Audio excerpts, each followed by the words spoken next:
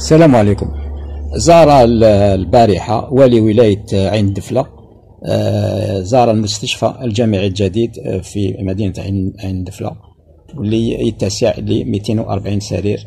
وهذا المستشفى الجامعي يعرف تأخر كبير فاق العشر سنوات شيء آه، غير مفهوم خاصة أن هذه المؤسسة الاستشفائية تعتبر آه، حيوية بالنسبة للولايه عين دفله إن شاء الله إن شاء الله الأشغال هذه تعاود آه، تروبروني تروبروني تاخذ مسارها الطبيعي ونكتفي آه، بهذا ونترككم مع نهاية الفيديو. والسلام عليكم.